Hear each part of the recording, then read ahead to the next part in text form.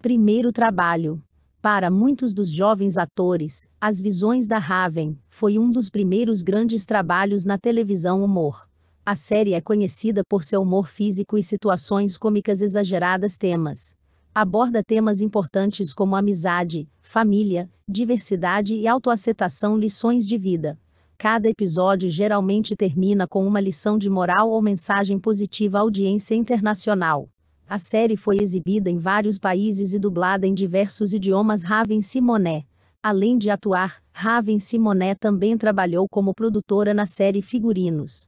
Os figurinos extravagantes de Raven foram desenhados para refletir sua personalidade vibrante e efeitos especiais.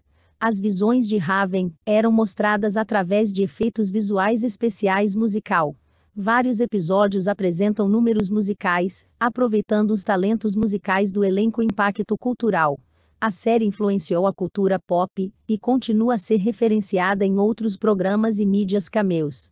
Vários atores convidados famosos fizeram participações especiais na série Duração.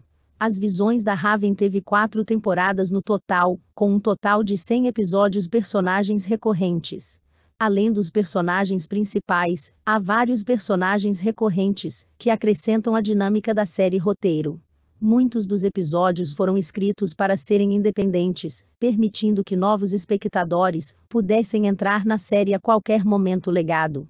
Mesmo após seu término, As Visões da Raven continua a ser uma das séries mais amadas e influentes do Disney Channel, levando ao seu revival com Raven's Home.